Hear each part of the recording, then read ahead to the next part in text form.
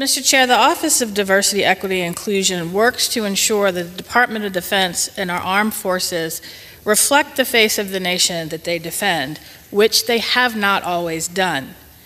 The office promotes a DoD culture of dignity and respect that values diversity and inclusion as a readiness imperative because the character of warfare is changing.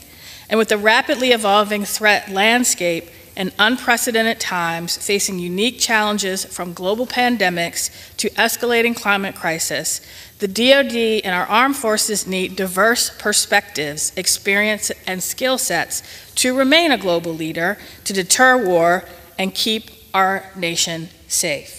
Um, and I reserve the balance of my time. Gentlemen. Our strength of our military is the people.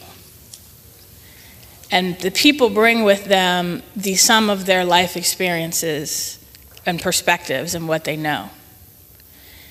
In my family, I had several uncles born between 1918 and 1938 who served during World War II in the Navy in a segregated unit where they were not allowed to fight, they were only allowed to cook because of the color of their skin. And the stories that they told their children about the indignity they suffered from their fellow service members and superior officers, do you think any of their children wanted to serve the military? There are countless stories like that.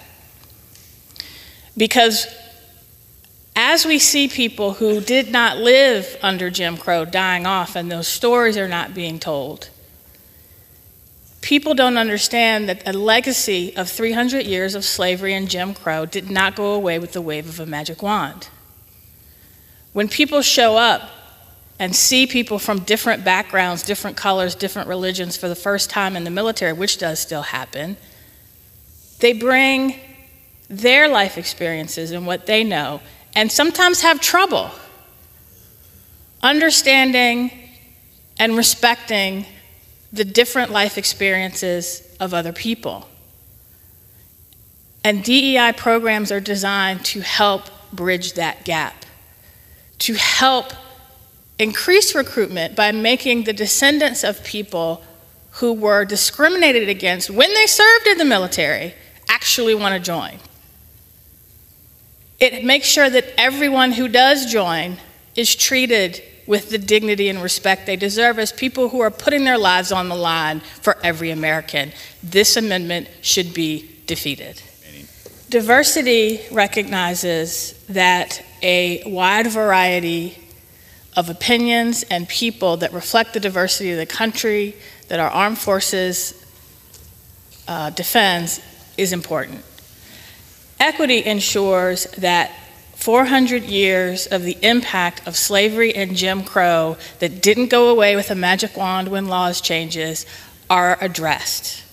Inclusion ensures that everyone in our armed forces is treated with the dignity and respect that they deserve given the sacrifice they are making. These efforts to undermine DEI in our armed forces are counterproductive, dangerous, and will not help with readiness, preparedness, recruitment, or retention. And that is why this amendment, as well as the next series of amendments that we will debate, should, must be defeated. I yield back.